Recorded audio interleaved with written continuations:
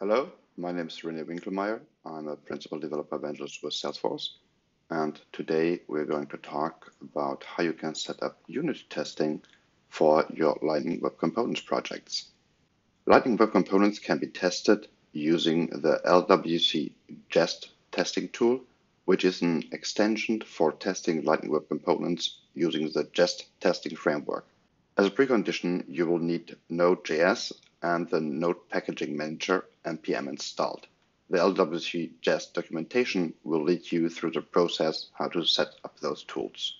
If you have a new project that doesn't contain a package JSON file yet, you first init the package JSON file with the npm init command. This will guide you through a small setup process where you can specify things as the name of the project, your GitHub repository, and so forth. The second step is then to install the LWC Jest testing tool. You run the npm install at salesforce slash LWC Jest install command for that. This process may take a few minutes and please check out the documentation as it may contain specifics for your operating system. Once you run the installation, you will have a package JSON which will look like that. The scripts section can be used to add custom commands for your npm environment to execute the LWC Jest extension. Here, in this very first basic example, you see that we added a test colon unit command to run then LWC Jest.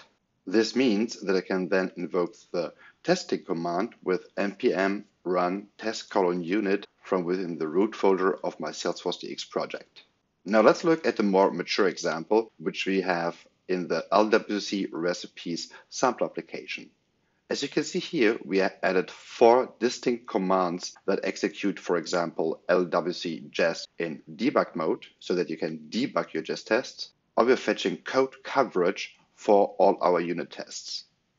The GitHub README of the LWC Jest extension provides more documentation around what commands the extension provides, as well as how you can invoke standard Jest commands also from LWC Jest. If you want to use third-party tooling, for example, extensions for VS Code that leverage the LWC Jest tool extension, you have to add a jest config.js file to the root of your project. This can look like this file, which is also provided in the LWC Jest GitHub README as an example. With this configuration file, any extensions for Jest that you install within VS Code will automatically fetch the configuration of LWC Jest. This is a mandatory step for all third-party add-ons that you want to use. The LWC recipe sample application contains a more mature example that also adds additional configuration options which are standard Jest functionality. Please see all the related tests in the LWC recipes application on how and why to use them. When you start adding tests to your project, please make also sure that your force ignore file excludes with this global matching pattern any test folders. Otherwise, any interaction with an org, for example, a force source push, will fail as the Salesforce CLI will try to deploy test files to your org. Now let's look at the very first basic test, hello test. Every test that you add to your project is represented as a subfolder for your Lightning Web component. Here we have our hello Lightning Web component, a subfolder underscore underscore tests underscore underscore. And within that folder, you place the test file of your Jest test. We recommend the naming convention, name of your Lightning Web component, period, test, period JS.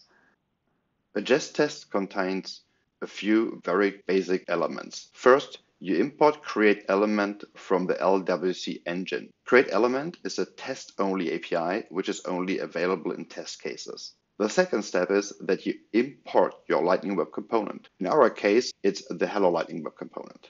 Secondly, you add a test suite for your Jest test. A test suite rep is represented with this describe block over here. And we recommend that you put in the name of your Lightning Web component in here. The minimum second step is then that you add a test to your Jest test. This is represented with this it block below here.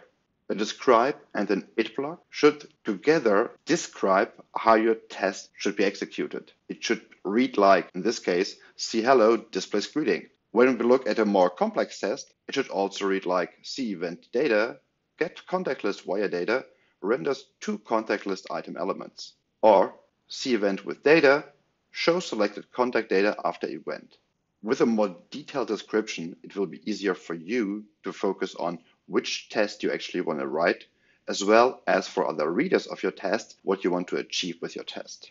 Now let's go back to the hello test, just test.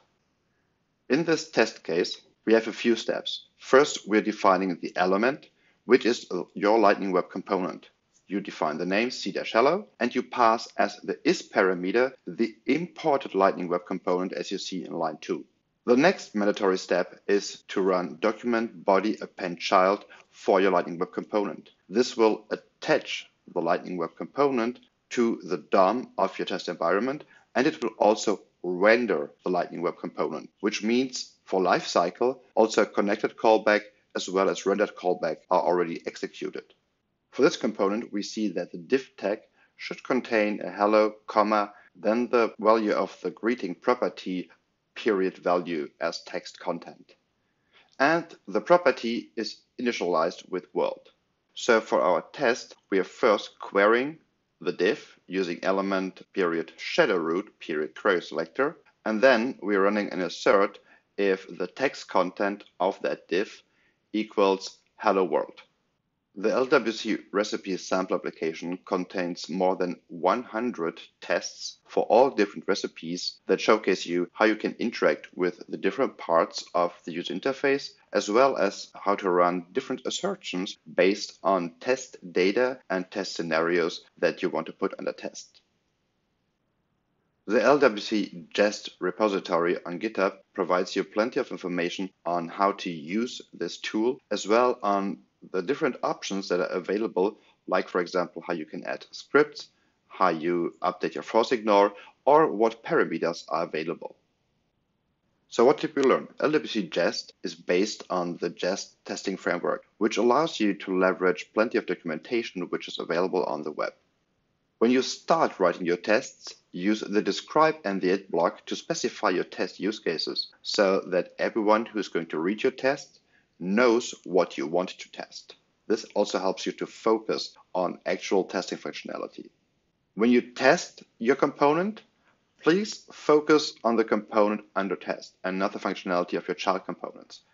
The LWC recipe sample application contains plenty of examples on how you can test all the different scenarios that may happen when you write your own Lightning Web components. If you want to learn more, we have a trail mix for you. On sforce.co slash LWC, we link to plenty of resources like blogs, videos, as well as documentation to get started with Lightning Web Components and more. Thank you very much for listening and have a good day.